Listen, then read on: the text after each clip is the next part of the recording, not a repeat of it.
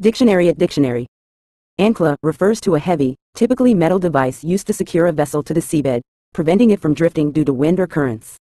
It is usually attached to a chain or rope and dropped overboard to anchor the ship or boat in place. The term can also be used metaphorically to describe something that provides stability or security, anchoring a person, organization, or idea to a particular position or situation.